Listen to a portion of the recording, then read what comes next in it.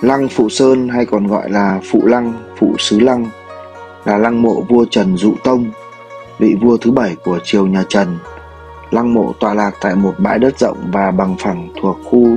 Đống Tròn xóm mới thôn Bãi Dài xã An Sinh, huyện Đông Triều tỉnh Quảng Ninh cách lăng Ngải, Ngải Sơn Lăng khoảng 1 km về phía tây. Vua Trần Dụ Tông ông sinh năm 1339, năm 1336 và mất năm 1369. Tên húy là Trần Hạo, con thứ 10 của vua Trần Hiến Tông. Ngài sinh ngày 19 tháng 10 năm 1336. Vua Trần Dụ Tông đăng cơ năm 6 tuổi ở ngôi 28 năm băng hà ngày 25 tháng 5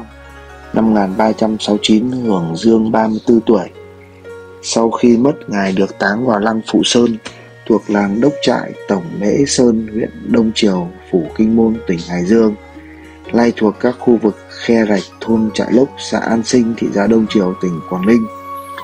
Theo Đại Việt Sử Ký Toàn Thư đánh giá vua Trần Dụ Tông là người rất thông tuệ, học vấn cao minh chăm lo việc võ sửa sang việc văn các di thần đều phục theo trần triều thánh tổ các sứ địa đồ